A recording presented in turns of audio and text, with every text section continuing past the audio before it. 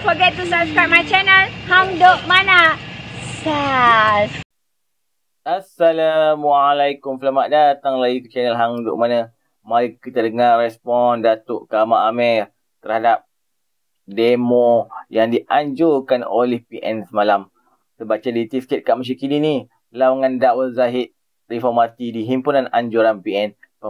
Perhimpunan Selamatkan Malaysia Anjuran Perikatan Malaysia, eh, Perikatan Nasional PN menyaksikan lebih seribu orang berkumpul selama kira-kira sejam jalan raya di depan komplek belah membeli belah Sogo Kuala Lumpur yang cukup digali sebagai lokasi banyak protes terhadap ahli politik dan kerajaan sebelum ini. Okey, mari kita dengar respon dari Kamal Amir. Dia akan kita komen macam biasa. Ha, saudara. Begitu juga macam hari ni, ada teman-teman bertanya, perlukah saya mengulas? Saya memanglah saya nak ulas, tapi ulasan saya jangan marah, saudara. Jangan marah. Saya bukanlah, saya berusaha untuk memberi pencerahan sebaik mungkin, seikhlas mungkin, seadil mungkin. Pertama, jumlah kehadiran. Memang tidak nafikan ramai. Ha, jangan pula ada orang mengatakan 100 orang, 200 orang. Itu bohong. Menurut kata polis, apa, bancian polis lebih kurang 850 orang. Saya tengok ada pula laporan daripada ini uh, apa, ini Awani dia kata 2000 orang. Okeylah.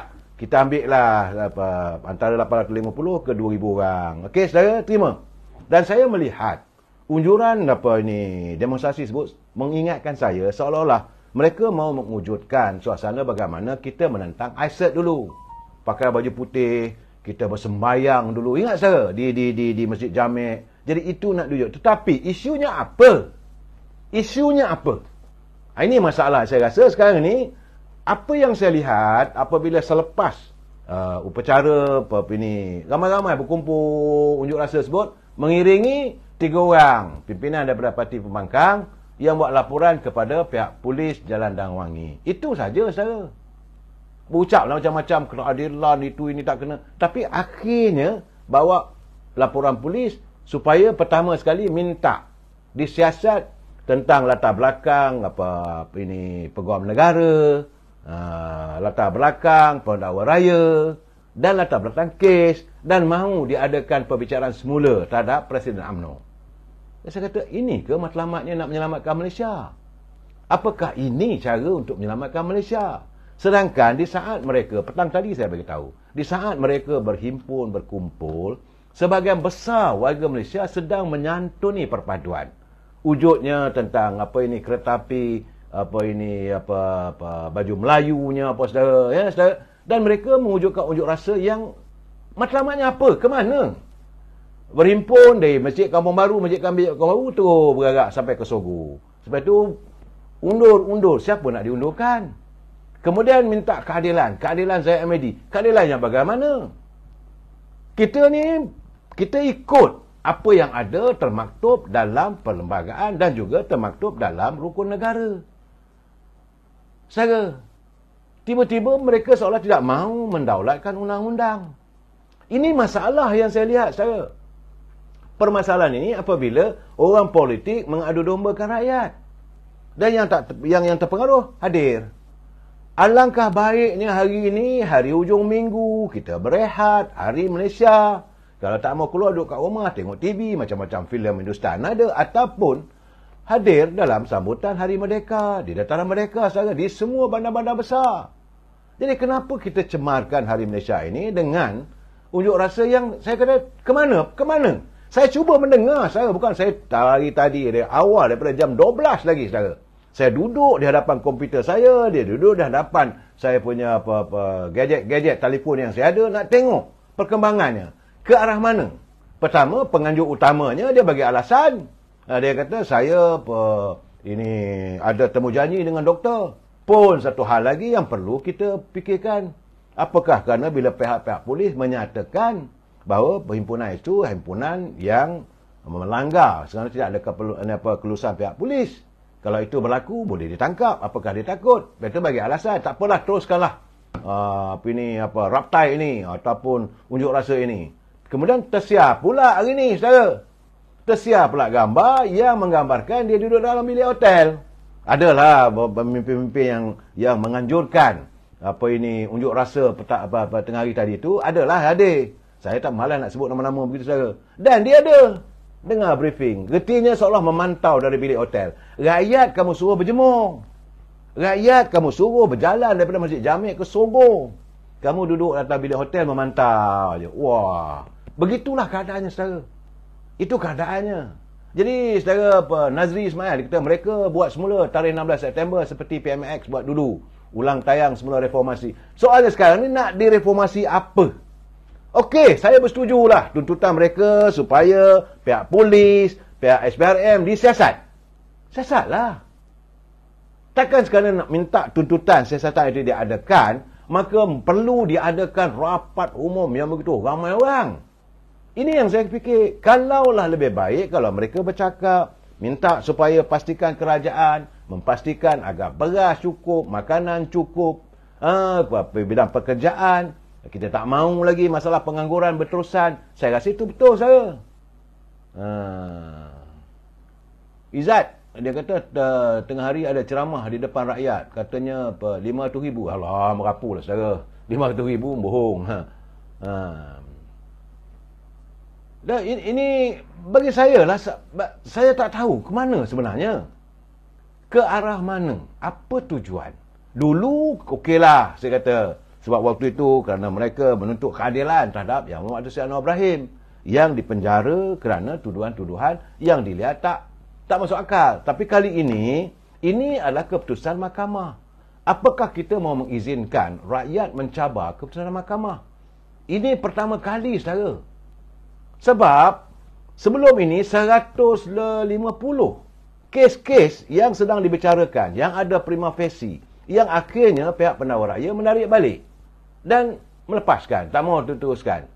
Tak ada masalah. Saya tak maulah mengatakan, tapi sebagai contoh, sebagai contoh saya katakan, bagaimana pembicaraan yang melibatkan Presiden PBM Tasimuddin. Apabila mahkamah memutuskan bahawa ada masalah teknikal, masalah teknikal, maka kes itu, apa, apa, maka beliau dibebaskan. Tak ada pula warga UMNO nak bergarak minta keadilan. Tak ada. Kita terima dengan hati terbuka. Kalau itu kata mahkamah, kita terimalah. Ha. Ini tidak. Mesti nak dakwa juga saya MD. Saya kata nak dakwa atas tingkat apa? Bila kata, ya apa dakwaannya? Kerana perbicaraan menghubung, menyentuh tentang Yayasan Akar Budi bukan ya ini tentang korupsi. Dan saya rasa tak tahu, saya, saya tengok, ish, dia orang ke mana sebenarnya, saudara? Itu keadaannya. Sebab itu, saya lihat lah satu sahabat saya, dia bekas apa uh, anggota polis, ketua polis, uh, Datuk Ayub. Dia kata this action of organising the so-called peacefully assembly attacking on Malay political leader. Jadi dia kata bahawa himpunan ini lain tak ada untuk menyasarkan kepada seorang pemimpin politik untuk dieksposkan dengan tujuan untuk menjatuhkan kerajaan. Itu pandangan beliau sebagai anggota polis Datuk Ayub ni saudara. Ha, jadi ini menyebutkan bahawa katanya betapa desperate-nya mereka untuk kembali berkuasa dengan apa cara sekalipun. Ini yang sebenarnya saya. Jatuhkan Zaid Amidi, maka bila jatuh, maka dengan sendirinya Datuk Seri Anwar Ibrahim pun dijatuhkan. Itu saya. Itu keadaannya. Ini ini kenyataan beliau ya, ya. Uh, tak cukup dengan tindakan pendakwaan, kini dengan tunjuk perasaan. Jadi kita berdoa agar semua berfikir, bermusyawarah dan bertindak dengan lebih rasional dan bijaksana. Jadi bersabarlah kita menunggu. Kalau rasa-rasa nakkan kuasa sangat, tunggulah pilihan raya yang ke-16. Bukan lama mana pun. Tetapi apa yang cuba dilakukan oleh mereka adalah mewujudkan macam mana kekalahan UMNO Barisan Nasional tahun 2018. Sebaik saja usai pilihan raya 2013, 2014, maka diwujudkan Najib sentrik yang saya katakan. Maka tiap-tiap hari diadakan unjuk rasa, tuduhan, dilempar pada Tok Najib. Ha, undur, undur, undur Najib. Undur, undur, undur Rosmah. Dua ni dia attack saya. Akhirnya kerajaan UMNO Barisan Nasional tumbang tahun 2018. Dan akhirnya Datuk Najib dibawa ke mahkamah dan dipenjarakan. Yang masih lagi perbicaraan berjalan saya. Kini timbul pula. Bila dah begitu, Allah rindulah zaman Najib. Pula dah. Haa. Saudara Arus dia kata 74 kursi. Macam mana nak menang? Itu keadaan saya. Sebab itu saya kata saya tengah I cannot brain lah with this type of activity. Jadi apa ini uh, menurut Datuk Ayub dia kata, berapa kali nak dakwa? Ha? Tentang 87 pertuduhan. Keputusan membebaskan takkanlah tak boleh terima keputusan mahkamah. Sama aja dia kata. Geng Perikatan Nasional lah, nak berkuasa, nak cari salah kita saja. Kalau dia orang tu semua halal, kita ni semua haram. Itu keadaannya. Dan saya melihat bagaimana sahabat saya, Datuk Zamil Ibrahim, di antara kerimam saya-saya, dia menzahirkan kekecewaannya tentang percaturan politik hari ini. Dia kata sewaktu bersama dalam muafakat nasional. Jangan lupa, waktu kita ada muafakat nasional antara UMNO dengan PAS dulu, saudara. Ha? Uh, mereka marah serta mengkritik penguam negara Uh, kerana katanya kerajaan ketika mendakwa Datuk Sri Zahid. Masa itu marah, tak boleh. Tapi sekarang uh, waktu orang yang sama juga. Satu lepas mereka tidak bersama dalam muafakat nasional, sekarang ini dengan ketiadaan muafakat nasional, mereka marah serta kritik pegawai negara dan mahkamah serta kerajaan perpaduan kerana membebaskan dan tidak meneruskan pendakwaan terhadap Datuk Sri Zahid Hamidi. Jadi katanya, brother, fikir-fikirkanlah. Itu keadaan saudara. Jadi saya merasakan uh, banyak pandangan-pandangan daripada teman-teman kita bagaimana uh, dia mereka menyatakan bahawa Hari Malaysia sewajarnya diraihkan dengan penuh semangat perpaduan serta kebersamaan bukannya dicemari dengan perhimpunan yang boleh mengganggu gugat keselamatan negara dan lebih teruk lagi menyusahkan kehidupan orang ramai. Ha, lebih membimbangkan ini menurut penganalisa keselamatan dan politik Dr. Nur Nirwandi Maknodin. Dia kata perhimpunan di ibu negara hari ini tidak mematuhi Akta Perhimpunan Amam, Aman 2012 menggunakan simbolisme dan sentimen patriotisme kenegaraan yang palsu. Nur Niwandi yang juga pensyarah kanan Pusat Pengajian Perang Saraf Media dan Informasi daripada Universiti Teknologi Mara. Dia kata perkara berkenaan sekiranya tidak diatasi, ia berpotensi mencetuskan unsur subversif seterusnya menidakkan Malaysia sebagai negara aman yang merdeka, berdaulat dan sejahtera. Nah, saudara. Kemudian, katanya bila berlaku demonstrasi, ia dibimbangi akan mewujudkan emosi berbahaya yang kemudian membawa ideologi tidak sihat. Seterusnya bertukar menjadi aktiviti keganasan atau subversif dan kita tidak mahu ini berlaku seperti mana terjadi di negara luar. Itu keadaannya saudara. Jadi kerana itu, uh, menurut Dr.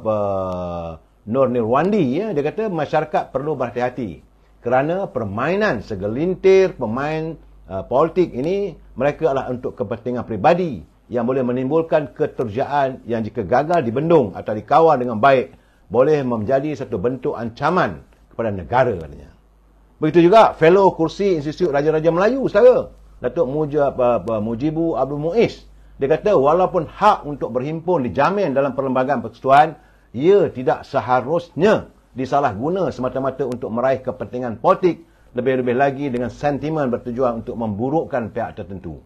Isunya, kata Datuk Mujibu selaku pengurusi, so fellow kerusi Institut Raja Jaya Melayu, isu ke, isunya kebanyakan perhimpunan berpahaya tinggi berlaku untuk mendapatkan kepentingan politik dan digunakan untuk petikkan suara bagi memburukkan pihak tertentu dan pihak berwajib. Itu gambaran saudara.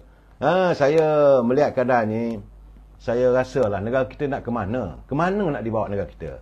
Bagaimana tulisan daripada, daripada Apa, Nur Jazlan, dia kata tindakan jawatan kuasa pilihan khas parlimen ha, yang mahu memanggil peguam negara Datuk Ahmad Terirudin Mat Saleh dan bekas peguam negara Tan Sri Idrus Harun mengenai kes Datuk Sri Datuk Ahmad Zaid Hamidi disifatkan sebagai luar biasa. Memang luar biasa, tak? Hanya kerana pihak pendakwa raya menarik tidak mahu meneruskan pendakwaan. Dah kena panggil jadi isu besar. Selaku ahli majlis tinggi UMNO, Datuk Nur Jazlan Muhammad berkata tindakan sedemikian menyaksikan bagaimana parlimen mencampuri ususan jabatan peguam negara yang seolah-olah mempersoalkan keputusan hakim dalam keputusan melepas tanpa membebaskan Datuk Seri Ahmad Zaid. Jadi dia kata saya terkejut besar. Ahli Kongres Amerika dan ahli Parlimen Kingdom yang telah mengamalkan demokrasi berpuluh tahun pun tidak pernah mengadakan prosiding untuk menyiasat keputusan mahkamah. Ini negara yang dilihat negara maju saya. Tak pernah mengadakan prosiding sedemikian. Ha, padahal katanya pada Menteri Datuk Anwar Ibrahim sendiri sudah menjelaskan beliau tidak mahu mencampuri atau tak mau campur tangan dalam keputusan yang dibuat oleh program negara kerana ia termaktub dalam perkara 145 dalam kurungan 3 perlembagaan persekutuan. Tapi kenapa tiba-tiba jawatan kuasa khas apa parlimen bertindak melangkaui perlembagaan. Jadi ini seolah nak mencampuri urusan mahkamah. Kita ada separation of power, pembagian kuasa. Eksekutif, Perdana Menteri, Menteri Kabinet. Kemudian legislatif, parlimen, wakil rakyat. Kemudian judiciary, hakim. Tiga-tiga tak boleh campur aduk. Sekarang ni apa yang dilakukan seolah-olah mencampuri urusan mahkamah. Ini yang rosak sepatutnya. Ini yang harus ditentang oleh himpunan tadi. Sekarang ni rakyat pun nak mencampuri urusan mahkamah. Aduhai, apa nak jadi pada negara kita saudara? Ha, itu keadaannya. Jadi sebab itu saya melihat kenyataan. Ha, hati-hati saya. Bahawa kenyataan daripada Ketua Polis Kuala Lumpur. Datuk Aliluddin Abdul Majid. Ha, katanya pihak polis akan memanggil siapa saja untuk siasatan berkenaan Himpunan Selamatkan Malaysia yang diklasifikasikan sebagai tidak patuh selepas dilaksanakan di ibu negara petang tadi. Kan cari penyakit saudara? Itu gambarannya. Ha, man, terima kasih Sekutu Bunga Merah, man. Ini ini keadaannya. Akhirnya, cari penyakit. Ha, kalau dah kena cekup dengan polis nanti pula, salahkan polis pula. Ha, selaku Ketua Polis Negara, Datuk Alauddin Abdul Majid kata, himpunan itu bermula di Masjid Jamik Kuala Baru, kira-kira 1.15 minit petang, dan berakhir jam 3.30 petang di hadapan pusat beli belah Sogo, membabitkan 16 ucapan individu. Polis dah rakam semua, saudara. Jangan main-main dengan polis Malaysia ni, saudara. Haa. Jadi katanya beliau menekankan perkara ini dan pihak polis sebagai penguat kuasa undang-undang. Ha, jadi kita berpandukan undang-undang itu Akta Perhimpunan Aman yang menggariskan perkara-perkara yang perlu dipatuhi. Bukan tak boleh adakan, ada tapi perlu dipatuhi.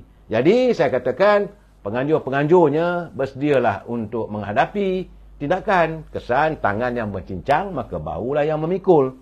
Saudara, ha, Sebelum saya terlupa, saya ingin memaklumkan semalam bahawa dari Kuching, Sarawak, oh, kita akan mengadakan pilihan raya kecil pula, saudara. Ha, apabila ini speaker Dewan Undangan Negeri Sarawak, Tan Sri Muhammad Asia As, Asfia, awang besar akan memaklumkan kekosongan di kerusi N67 Jepak. Ha, susulan kematian penyandangnya Datuk Talib Zulpilip semalam, saudara. Dan dalam keadaan begitu akan adalah pilihan raya kecil di Dewan Undangan Negeri Jepak di Sarawak, saudara. Memanglah UMNO tak bertanding. Yang ini yang bertanding ni itulah parti-parti yang ada di Sarawak. Bagaimanapun kita tengok saya, kita tunggu. Ah, kita tengok komen saya, saya baca detail sekali kat masjid ini. Boleh meng- menganggarkan kira-kira 850 orang yang hadir. Manakala penganjur mendakwa sampai 10,000 yang menjadi bagaimana itu. Tiada uh, pasukan unit simpanan FRIU pada hari ini. Hanya baris polis yang berkawal bagi menghalang proses kejayaan raya menuju ke ibu jabat tidak ada dan wangi. Selama kira-kira sejam, barisan berbina yang berucap menyuarakan bantahan dan kritikan terhadap kerajaan pimpinan Perdana Menteri Anwar Ibrahim. Antaranya yang setiap usaha PN Selangor Datuk Hafiz Baharudin yang menyindir Menteri Dalam Negeri Saifuddin Ismail sebagai menyifat penganjur sebagai menghina Hari Malaysia.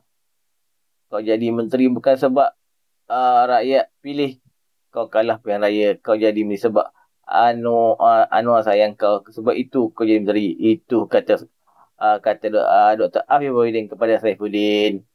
Dia Saifuddin kata kata, uh, kata kita hina 16 September, uh, 16 September.